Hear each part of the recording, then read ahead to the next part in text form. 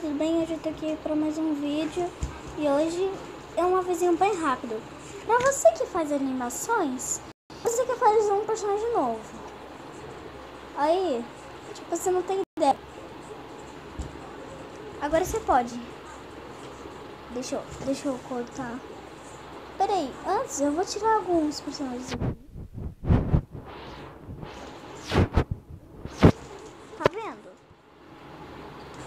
Você pode pegar as três imagens. Meu Deus. De cabeça pra baixo. Volta, volta.